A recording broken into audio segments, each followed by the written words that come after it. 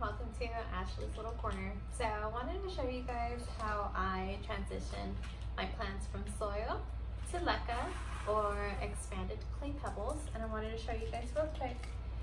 I have two different types of expanded leca or clay pebbles that I've been using. There's these gray ones. I have these red ones as well. So either one works just as good. They both do the same thing. They both soak up water from the bottom of it and kind of transition it to the roots that you need it to be at. I got my Monstera, or my little monster that I like to call. And she's been sitting in soil for over a year now. I've had her, actually separated her already once. So I think it's time to get her a new pot anyways and transition her to water since plants enjoy water anyways. So go ahead and just try to get her out of here, get all the stuff. Of course my video cut off halfway what I was saying earlier. So got her out of her pot finally and I'm just trying to get as much dirt off her roots as I can. So just gently kind of massage the roots and get the soil off. Don't mind don't mind my crazy bird. So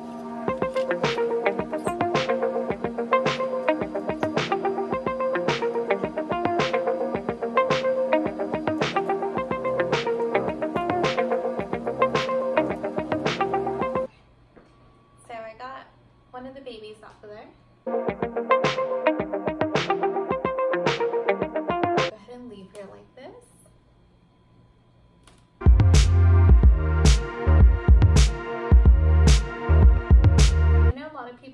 Hose it off or kind of run water through the roots to get as much dirt as it can off, but I feel like it just makes it more of a mess.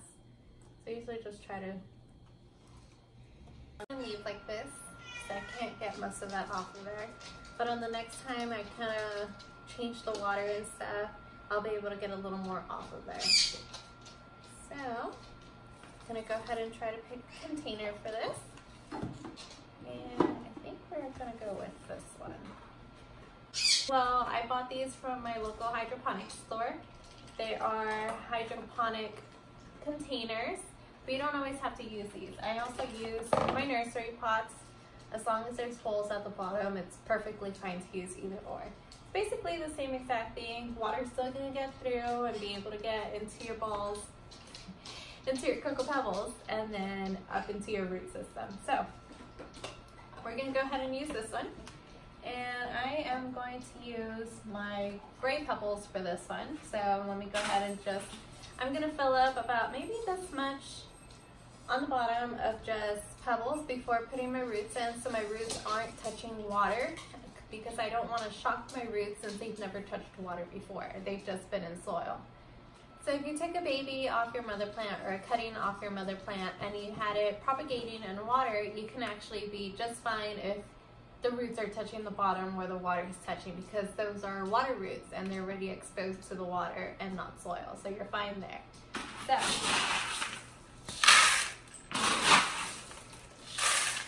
oh, and I watched these yesterday. So go ahead and insert a clip of how I watched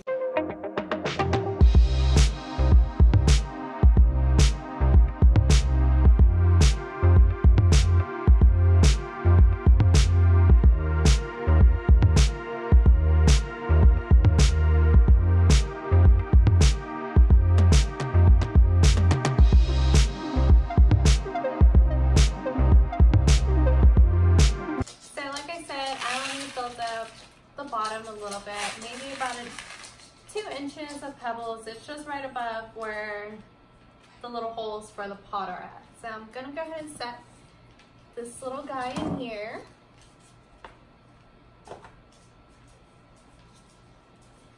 I kind of just wrap around the roots so they sit in there pretty good. And I actually want it to sit lower than usual, so I'm actually gonna push it down as much as I can. I want the base to be nice and strong for this guy because he likes to tend to do that a lot. So I'm gonna try to place it more in the middle as well and just fill up all the way around.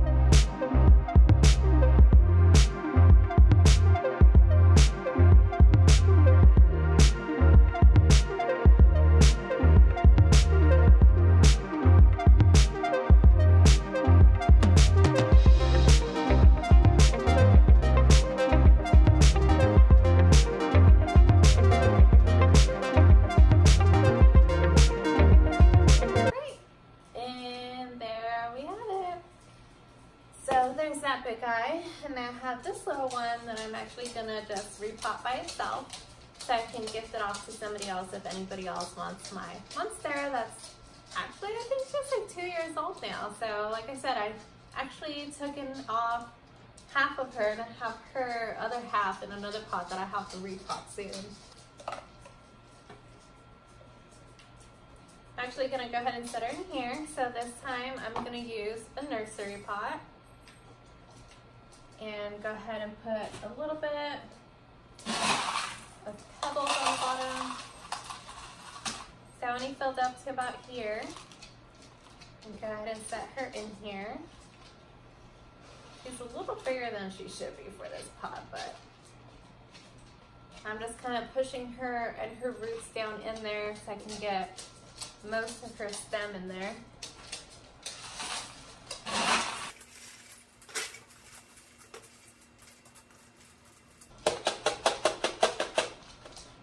And like I said, this is a lot cleaner and not as messy as soil. I have soil everywhere and I haven't even dropped one of those cocoa pebbles anywhere. So this is how she's been growing. I'm just gonna go ahead and let her grow. But I got some moss poles that I have that I'll put against her so she can keep growing upwards instead of sideways towards the light. I'm gonna go ahead and set her in one of these little Ikea pots. And for the first time, I don't know what you guys usually do, but since I just transitioned them to hydro and they're not used to having water, I usually just give them a nice little drink of regular water. I use my tap water because my plants seem to be okay with it. You have to just see if your plants are or not, instead of my nutrient water. So just give it a little drink and I usually just leave about like a quarter inch of water at the bottom to have it moisten the clay pebbles from the bottom and then hydrate and give a little water to the leaves as well. But like I said, I don't give them any nutrients for like about two weeks so they don't go into shock with what's going on. And I'll go ahead and make another video later on on how I mix my nutrients and what I do for my little babies everywhere. And also I have some neem oil that I've been meaning to use because of my gnat infestation. So I went ahead and got started on getting my peace lily out of its pot and just kind of massaging its way through. I'm gonna do the exact same thing, try to get as much dirt as I can off of here, and then go ahead and put her in a nursery pot. And I'm gonna go ahead and just put her back into her pot that she had because it doesn't have any drainage holes at the bottom. So yeah, and then I'll go ahead and make another video as well on my bug spray, my insecticide spray. And then I'll go ahead and talk to you guys another day. So you guys have a great one. Happy hunting out there, whether you do any kind of hunting. And so yeah, thanks so much for watching you guys. Hopefully these little fellows will do better in their LECA. Thanks for watching everyone. We'll see you later. Bye.